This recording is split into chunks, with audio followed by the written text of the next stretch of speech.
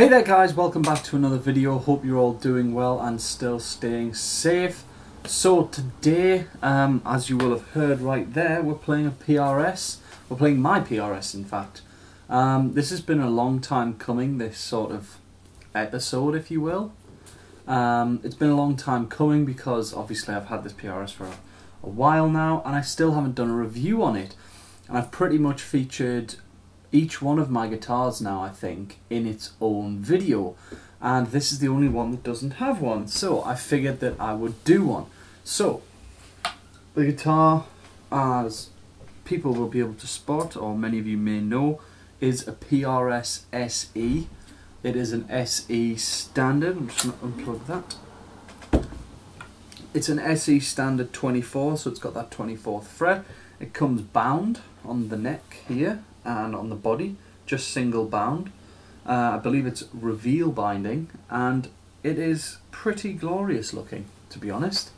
Um, the few things I don't like about the looks, um, I don't like zebras, um, but other than that, it's a fantastic instrument. It is built in that's in Indonesia, so this is the lowest model PRS you can get and it costs around £475. So it's the entry level for this guitar brand. And if I'm being honest, it's pretty it's pretty damn good. Um, it's got a trem, but I have it blocked off, and there's a sock in the back of here as well, I believe.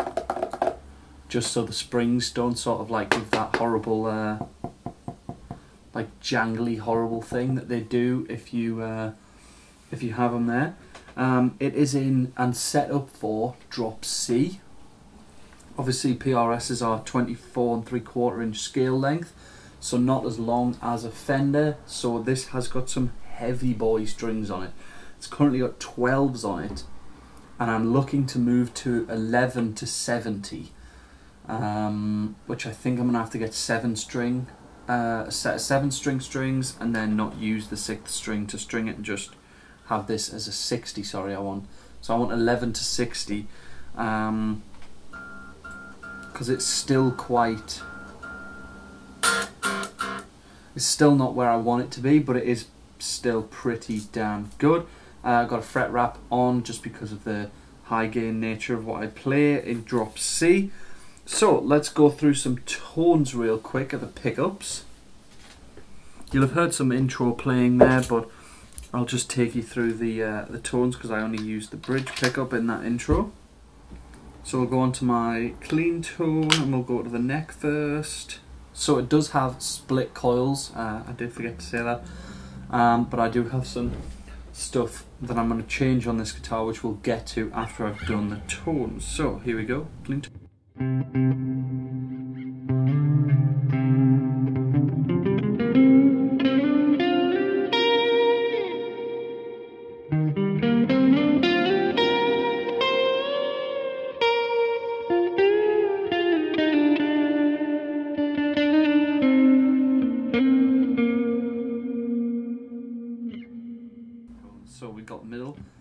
Pickups together.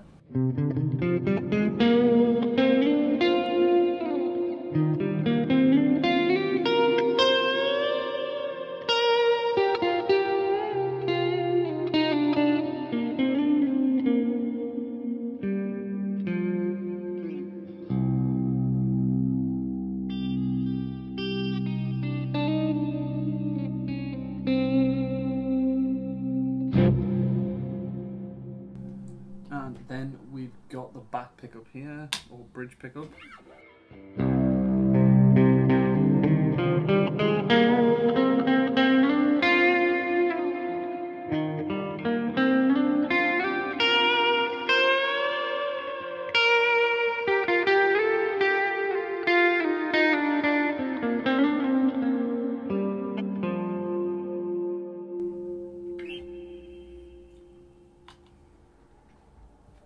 Go neck split.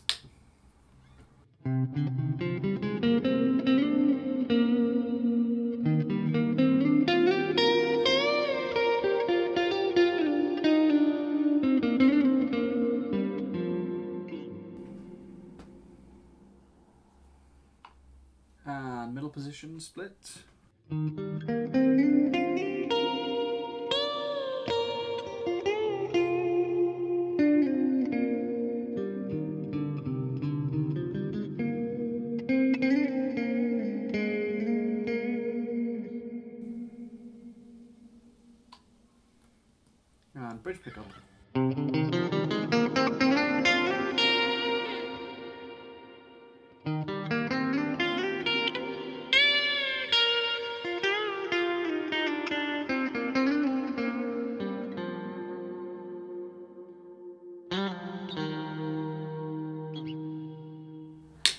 Okay, so those are clean tones there. Um, I'll do a little bit of, you'll have heard quite a bit of playing at the beginning. I'll just show you the, um, we'll go high gain and I'll show you the tones there.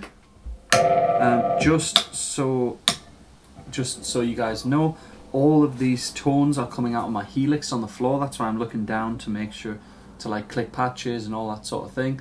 So all tones you're hearing is the Helix DI'd straight into my interface and recorded back out through my Tascam recorder which is recording my voice and the playing.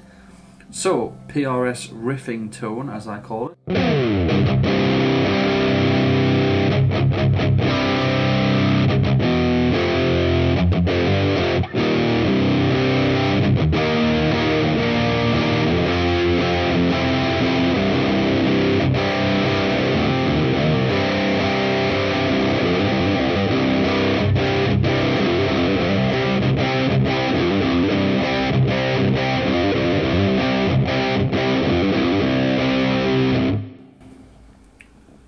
That was the uh, bridge pickup. We'll go to the.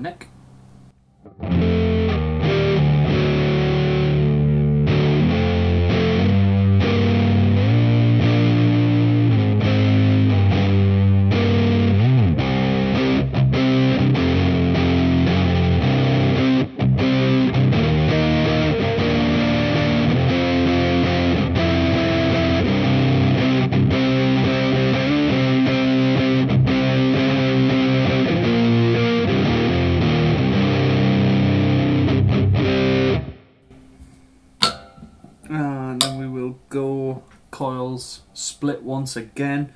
We'll go from the uh, go from the bridge again.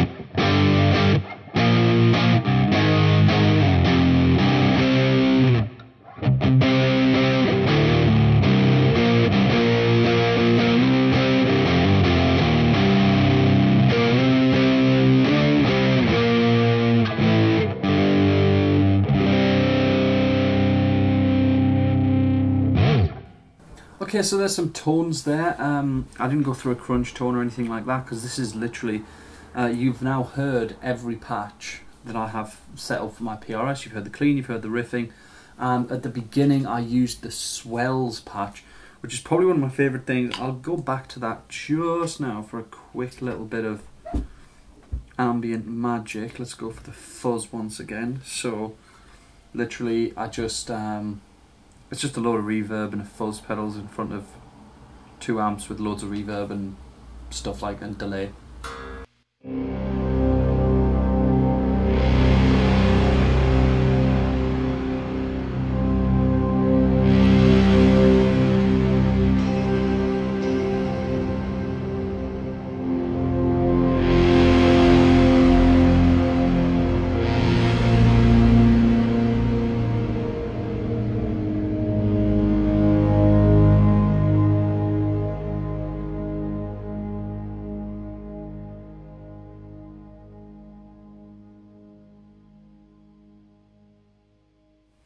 And there we go, it's finally gone off. It's got a lot of reverb on there. I could get a bit lost in that.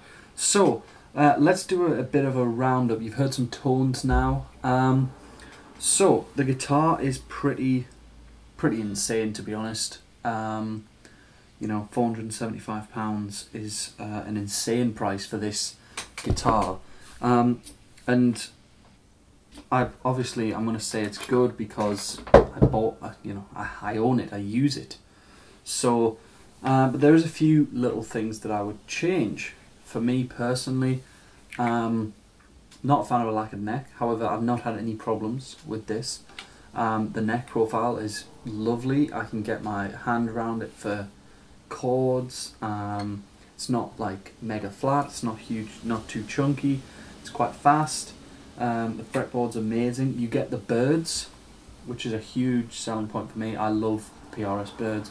I don't like uh, any. I don't really like PRSs without them on because I feel like this is like the quintessential thing, or at least something that's cool on the fretboard. I feel like that's one of PRS's big things.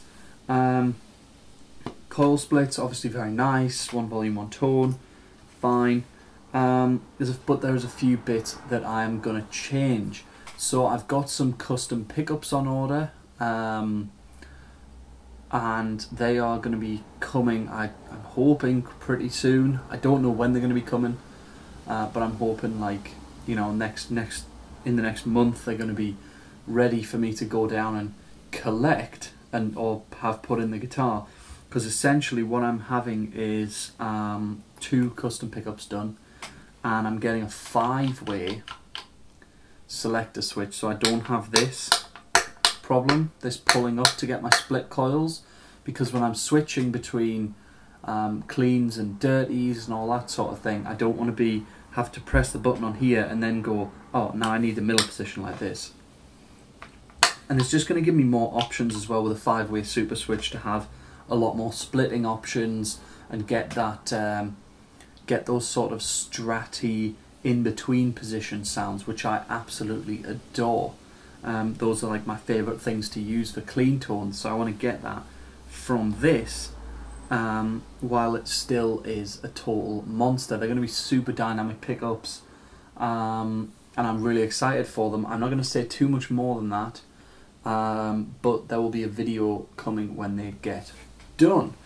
So overall, a fantastic guitar. Um, the reason I'm upgrading the pickups is because I'm playing heavier music. I mean, you heard my tones there; they're pretty dark and heavy. Um, and I just need some pickups to match them. But now I wouldn't. I have to say, for me, um, if I hadn't been doing this and doing this sort of uh, using this for my drop C and using it for heavy music, uh, I don't think I would have changed these pickups because the pickups actually sound pretty great. Um, for a lot of the pretty versatile pickups, they do everything that humbuckers do, and obviously they split down as well, making it a really great guitar. And to be honest, I can't recommend this guitar enough. Um, it's really sturdy. You know, there's a couple of, like I said, there's a couple of things. You know, you could put locking tuners on it even, because um, for 475 pounds, it's an insane, it's insanely good guitar for that amount of money, and it just sort of, you know, you can make small upgrades like that, and the big thing for me as well is that because it's only as it's an SE, I'm not as picky about it getting dinged. I, obviously, I'm not saying that I want to ding it and smash it and all that sort of thing. No, I mean that because it's an SE, I don't feel like oh my god, every time I leave the house, um, oh no, I'm t- I have to take my massively expensive PRS.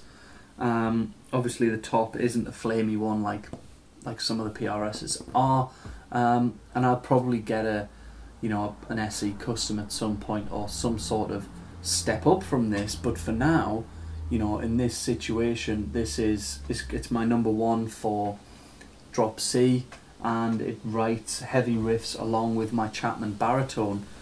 Um, and there's like I say, like I feel like I'm repeating myself a few times. Pickups are changing. I'm probably going to put locking tuners on it, but other than that, the guitar is completely stock and I absolutely love it. It's called Ruby. I name all my guitars. Um, this is Ruby. Lovely name for a guitar. So, thank you very much for watching, guys. I do hope you enjoyed the video. If you did, please do leave a like, comment, like and comment down below. Would you change anything? And what do you think about zebras? Because I don't like these. I'm getting black, uh, black pickups, or I'm gonna get them covered with some like the ones with the the holes in, many holes in. Don't know why. I just think that it would look cool with that. But I'm gonna change the zebras. Let me know your opinion on those down in the comments below. If you do want to see some more content, then please do hit that subscribe button. Thank you very much for watching, and I'll see you guys in the next one.